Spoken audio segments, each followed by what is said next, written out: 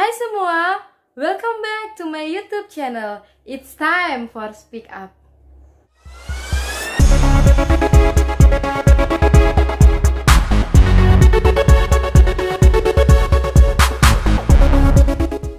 Oke, sebelum kita memulai pembahasan seperti biasanya jangan lupa buat subscribe, like, comment, and share.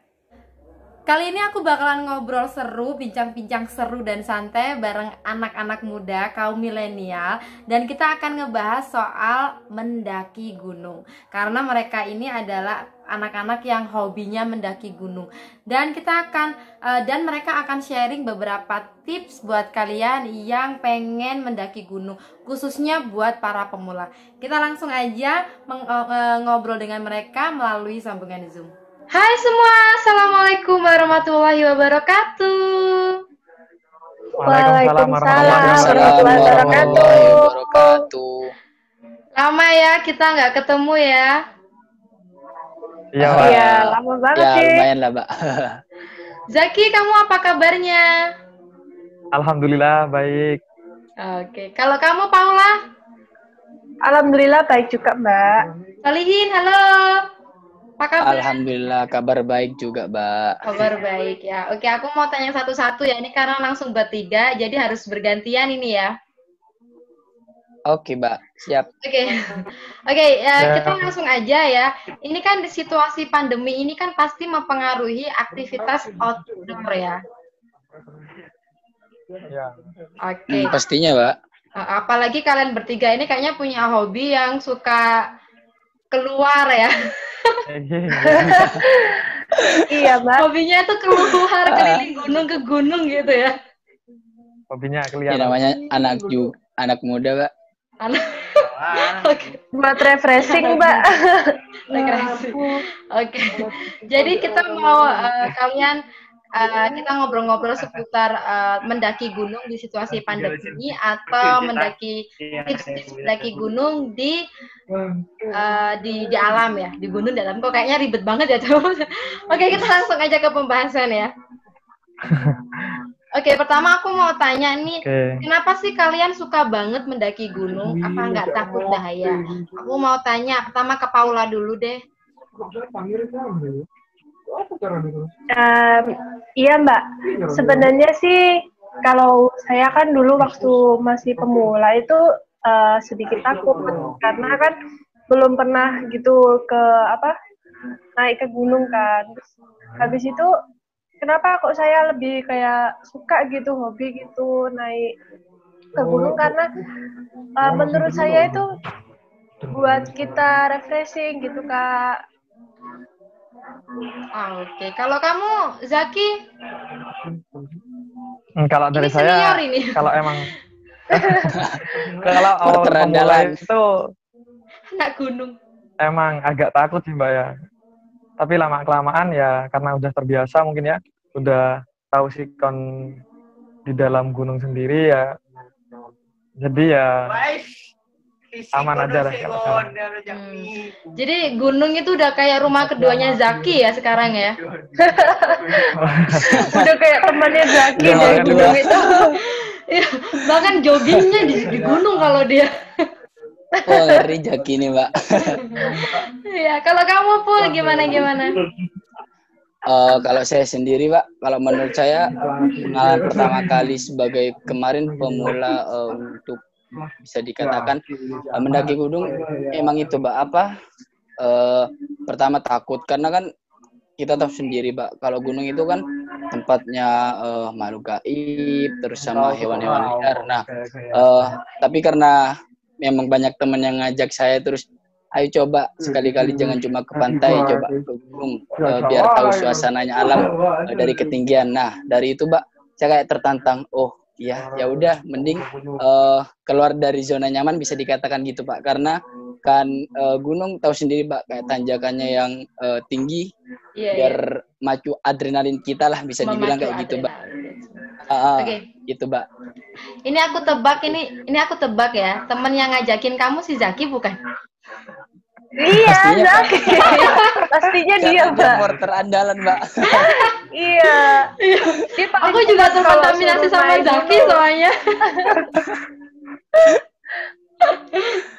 Oke, em, ah, next, eh, BTW gimana sih seharusnya mendaki itu, apalagi untuk pemula ya?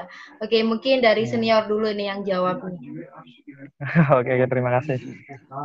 Kalau buat pemula itu yang pertama Mbak ya, yang harus dipersiapkan utama itu kesehatan. Oke, Kesehatan. Yang kedua mental. Terus peralatan dan lain-lainnya itu untuk kelengkapan eh, ketika mendaki di gunung. Hmm. Itu yang paling awal untuk pemula. Oh, tujuan munggah Kalau kamu Solihin, Eh, kalau saya sih eh, nggak terlalu jauh sama Jaki, Pak. Cuma yang paling di- ditekankan untuk pemula eh, mending kesehatan secara fisik dan psikis dan mental, Pak. Karena eh, ketika di gunung suasananya de- dengan di eh, dataran rendah itu sangat berbeda, Pak. Seperti cuaca, terus eh, tekanan mental, tekanan psikis itu eh, sangat beda, Pak. Jadi memang eh, kesehatan psikis, mental dan fisik harus apa ya di benar-benar ayo di Jepang dipersiapkan, Oke. Pak. Gitu, Pak. Iya. Paula? Ah, mungkin saya juga sama sih, Mbak. Cuma saya mau menambahkan sedikit saja, kalau untuk pendaki pemula itu kalau bisa harus sudah menyiapkan obat pribadinya karena kan eh, saat di gunung itu kan cuacanya eh, ini sedikit apa kayak dingin gitu kan. Nah, terkadang juga kalau misalnya Antara Anda punya riwayat sesak nafas itu kan juga harus mempunyai obat pribadi gitu. Oke, bener-bener. Dan juga Ya. kalian juga harus ingat ya kalau di gunung itu nggak kayak di kampung yang ada warung-warung, jadi harus nyiapin makanan juga tentunya. Juga kalian yang, yang Iya, kayak aku nih, banget itu, Pak. aku nih nggak cocok kayaknya di gunung karena nggak ada listrik di sana dan nggak ada wifi, nggak ada internet. Wow. itu itu kan bener-bener kalau udah di gunung nggak hanya capek, nggak hanya nggak hanya siap mental juga, siap kesehatan, tapi juga harus siap tidak ada internet dan siap untuk LDRan nggak menghubungi pasangan kalian gitu ya. Oh, siap, Mbak. Tapi semuanya itu dengan alam. Iya betul. Tapi bener-bener ya kalau kita menyatu dengan alam, kita bisa eh, apa ya namanya ya? Bisa menikmati keindahan alam begitu. Iya. Benar. Salah satu kelebihan. Benar Bang. banget itu, Pak. Ya. Oke, next lagi. Eh, ini nih kemarin eh, beberapa minggu yang lalu tuh aku sempat ngedenger berita ada yang meninggal ya wah di gunung mana itu pendaki di gunung Di Gunung Anderman. Buta, Mbak. Eh, gunung Buta, Buta. ya iya Buta. ada yang meninggal di gunung Buta nah padahal kan ini lagi momen pandemi ya ini menurut kalian ini gimana Iya. nih aman nggak sih mendaki di situasi seperti ini Zaki Eh, Oke, Pak. Eh, Oke, Pak. Terima kasih.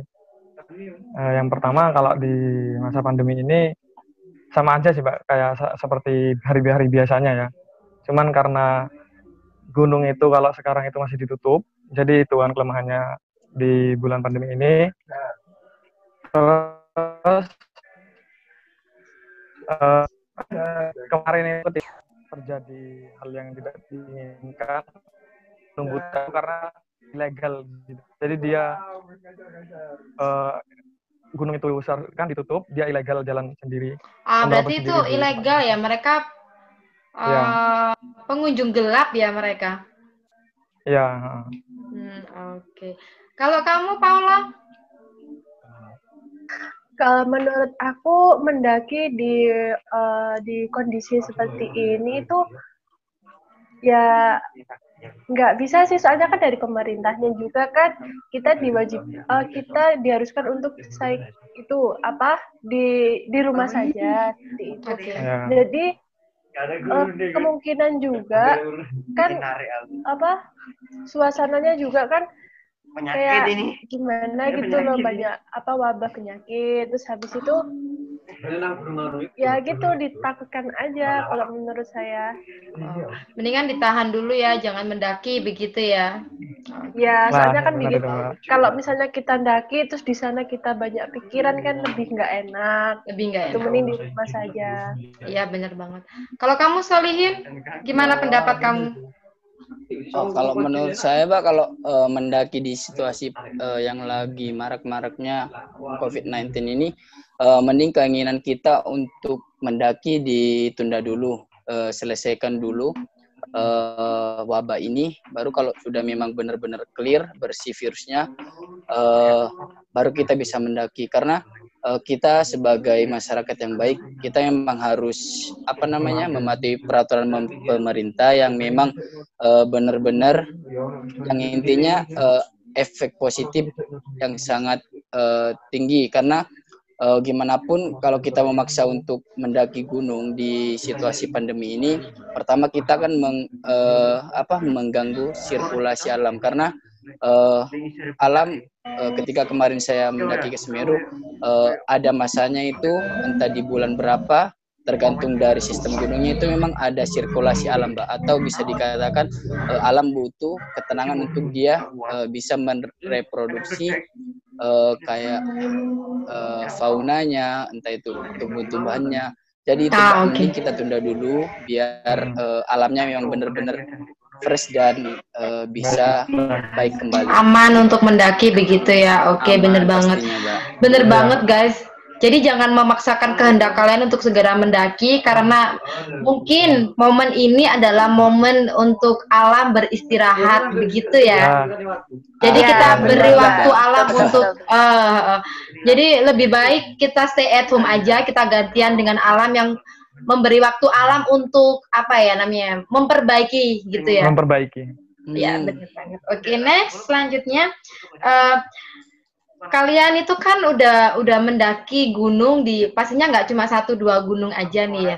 Nah menurut kalian ya. gunung mana nih yang bagus dan aman untuk pendaki pemula? Barangkali nih next habis pandemi ini uh, ada teman-teman yang pengen mendaki gunung. Nah itu kalian bisa ngasih saran gunung mana dulu nih untuk pemula? Oke Zaki Zaki. Oke kalau menurut saya untuk pemula itu uh, ke Gunung Ijen, Banyuwangi. Pemula? Iya. Itu nggak berbahaya ya, itu Zaki? jalan Enggak, Pak, karena jalannya itu udah lebar, udah aman, samping-sampingnya itu udah ditembak semua. Jalannya udah aman di sana juga ada pagar-pagarnya sudah. Ah, oke. Okay. Kalau menurut aku yang mudah itu malah Gunung Bromo ya. Bromo. Itu naik. Nah, Bromo, Bromo. Itu naik sepeda ya, juga naik bisa, kuda, naik kuda. yang yang pertama ini pokoknya intinya Oke. Okay. Uh, ketinggiannya tidak terlalu tinggi. Oke, okay, oke. Okay. Jadi Gunung Ijen tuh ketinggiannya nggak terlalu tinggi. Oke, okay. kalau kamu, Paula, Ya kalau menurut aku Tidak untuk pendaki tinggi. pemula itu uh, kalau bisa kita harus mencari ketinggian yang sekitaran di atas seribu aja gitu kan itu kan mungkin ya. tidak terlalu tinggi gitu buat pendaki pemula. Terus menurut saya untuk gunung pendaki pemula itu bisa di Panderman atau ke Gunung Kelut di Kediri. Ah, yang itu yang pemula ya. Kalau butak itu masih ya. berat ya? Oh, butak kalau butak sama Panderman itu beratan butak. Yang pemula. Oh, butak. Wah Zaki, kamu ngajak aku ke beratan butak, butak, padahal aku pemula loh Zaki. ngajak itu Pak. Zaki ini. Zaki lagi, ada, Zaki lagi. Udah ada ada agaknya gitu loh, Pak.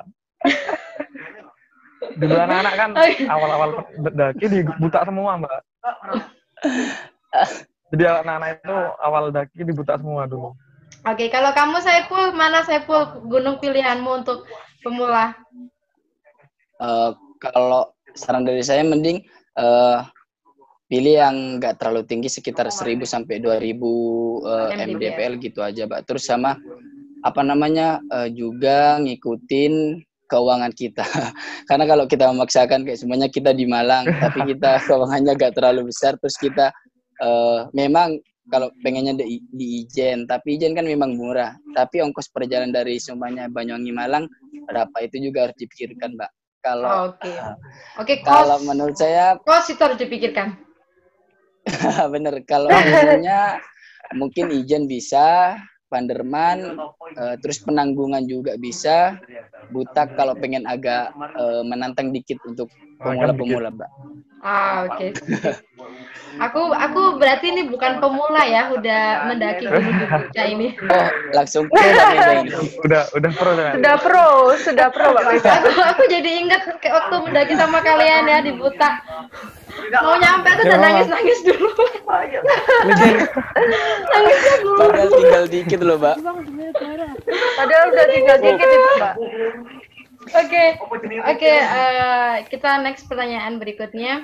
Jalan Apa sih sebenarnya manfaat poin utama atau manfaat utama eh, kita mendaki gunung? Solihin dulu deh. Eh, kalau menurut saya manfaat pertamanya pasti sehat, Mbak. Karena kan eh, kita bisa dengan berolahraga seperti jalan karena di kan kita harus jalan kaki tidak ada kendaraan di sana, Mbak. Terus yang kedua menambah literasi teman. Kita bisa ketemu teman-teman entah di sesama Jawa, eh, entah di luar Jawa. Jadi kita eh, tidak hanya sekedar sampai di situ mungkin kita bisa nonton nomor HP-nya untuk barangkali kita bisa ke tempat di luar Jawa kita sudah punya teman di sana. jadi itu Ah, intinya mbak. Kesehatan Jadi juga ketemu sama teman baru ya. pertemanan mbak. Ya teman baru mbak. Ah, Oke. Paula? Yang kalau menurut aku sih hampir sama dengan Sodikin Mbak. Cuman ada beberapa itu manfaat dari itu ini Mbak kan bisa buat kita tenang gitu. Kalau misalnya habis uas, terus kan kita habis ah, mikir gitu kan ya Mbak ya. Terus habis itu kita refreshing. Terus eh, manfaat keduanya kita tuh tahu ciptaannya itu ciptaannya Gusti Allah itu bagus banget. Jadi ya kita tahu pemandangannya gimana. siap diamkan diri bu orang hilang Halo Zaki? Oke mbak, Kalau saya manfaat mendaki gunung itu yang pertama ya sama sama teman-teman. Yang pertama terserah membuat tubuh kita sehat juga ya, karena ada aktivitas olahraga di dalamnya. Yang kedua, yang paling terutama itu kita menambah eh, relasi teman. Relasi Karena teman. ketika kita daki itu pasti kita mempunyai teman baru, pasti itu. Nah, yang ketiga yang ya, yang paling membuat ketagihan kita kita mempunyai ketenangan di sana. Jadi intinya ketika kita di gunung itu kita bisa tenang gitu loh. Hmm. Oke, jadi ya guys, manfaat mendaki gunung itu tidak tidak hanya ber- eh, selain kita menikmati keindahan alam dan Ya, dekat dengan alam, kita juga akan pertama kita akan tambah teman baru, mungkin juga keluarga baru ya. Kadang ada loh yang nemu jodoh di gunung. Iya Mbak ada. Tapi yang penting yang yang penting bukan Tarsan gitu ya. ya, oh jangan lah mbak Tarsan kayak Jaki mah mbak iya. Temannya Zaki itu Mbak. ini tuh, Pak. Banyak. Terus yang kedua juga manfaatnya itu adalah eh, kesehatan kita karena ya, orang yang bisa mendaki gunung pastinya mereka adalah orang-orang yang sehat jasmani dan rohaninya Sehat, ya. begitu ya. Karena nggak mudah iya, guys, iya. serius deh mendaki gunung itu nggak mudah banget. Aku pribadi juga eh, mungkin aku kalau ke Bromo oke buat aku ya. Naik Oke. kuda. Ya naik kuda. Aku ke Bromo mungkin berkali-kali ya guys ya. Tapi aku cuma naik kuda atau cuma naik jeepnya doang. Nggak nggak nggak ke kawahnya gitu. Saya capek. Iya. Naik tangga Mbak. Juga nggak ada. Oke untuk yang terakhir nih, apa sih saran-saran kalian untuk para pendaki pemula? Eh, Paula dulu deh. Eh untuk sarannya mungkin lebih itu Mbak, lebih tahu fisik mentalnya dulu, dilihat dulu, dipikir-pikir dulu eh gimana kuat atau tidaknya, terus memilih memilih gunung yang tepat untuk kesehatannya dulu. iya lah koyo Oke, Solihin. Terus Oh, Oke, lanjut Paula.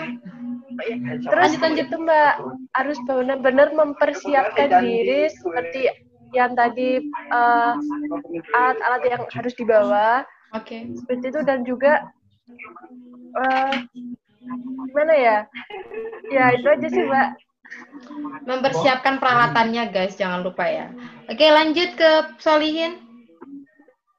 Eh, kalau saya sendiri pertama kalau pengen ah, apa kalau kita pengen daki gunung untuk pemula eh, kita cari informasi gunung-gunung yang eh, gak terlalu tinggi dulu terus juga mencari teman atau literasi siapa yang eh, sudah atau eh, bisa dikatakan banyak pengalaman lah buat daki gunung kayak Jaki contoh contohnya poster andalan ini mbak. Terus Ya, aku percaya Juga- banget ya andalan banget. andalan itu mbak. Eh, terus sama eh, mencari informasi juga di internet kayak perlengkapannya apa aja terus eh, perlengkapan kayak kebutuhan domestik makan makanan eh, sekiranya apa yang eh, aman ketika dibawa di gunung terus keamanannya juga di bagaimana itu aja mbak mungkin Oke, sip banget. Oke, Zaki, terakhir nih apa saran kamu untuk teman-teman pendaki nih? Kamu penutupnya nih. Oke, terima kasih. Ya, oke, terima kasih, Mbak.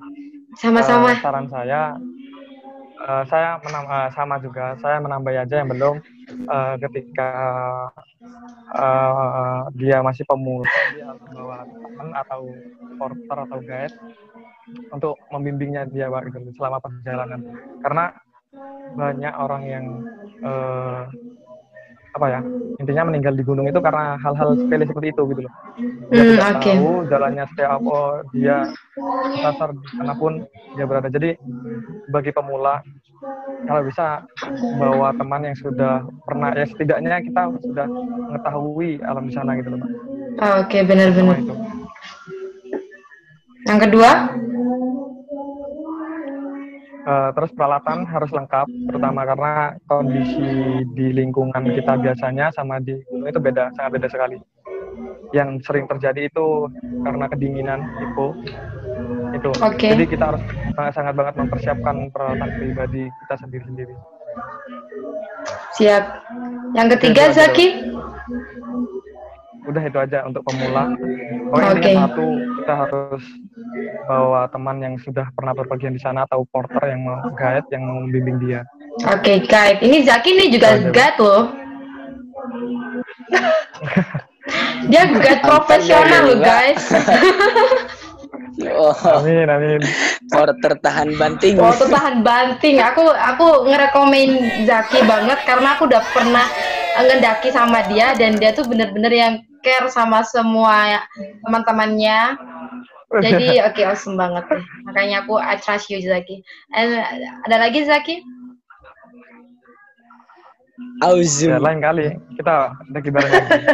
Kamu juga ini Zoom. Solihin sama Paula juga ini awesome kalian berdua. Keren. Ah, you, masih pemula. Mbak. Bagus ini, bagus Kalian mbak. keren semuanya.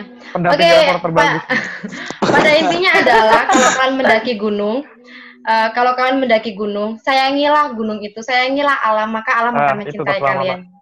Begitu bukan? Iya, betul banget. Masuk. Mbak. Intinya gini mbak, ketika kita melindungi pasti akan dilindungi. Oke. Oke. Sayangilah alam, maka Zaki akan mencintaimu. Begitu. Oh my god. Ah, Mbak, Boleh, sudah boleh, banyak boleh. korbannya, Mbak. Jangan macam-macam, Mbak. Monyet aja udah bisa jadi korban tuh. Aksan ya Gimana bener. Iya bener. Boleh tuh mbak. Oke semuanya, aku makasih banyak ya. Makasih Ya, banyak untuk sama-sama, Mbak. waktunya udah sharing-sharing pengalaman kalian mendaki gunung dan tetap ya karena ini masih masa pandemi, keep healthy eh, sama stay at home dan juga jangan lupa kalian tetap kuliah kan ini ya, Bagus. kuliah online. Udah libur dong. Alhamdulillah sudah sudah Udah libur kita. selesai. Liburan, Mbak. Libur. Libur telah tiba gitu. Oke guys, see you ya. Liburan telah tiba. See you ya, Mbak. makasih. Bye bye. Assalamualaikum. Sama-sama.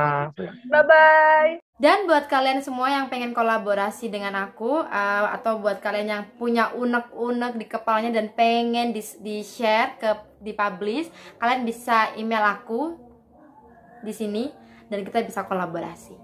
Oke, sebelum kita menutup, aku mau mengumumkan uh, siapa pemenang ep- uh, giveaway episode sebelumnya. Nah, ini dia komennya. Ya.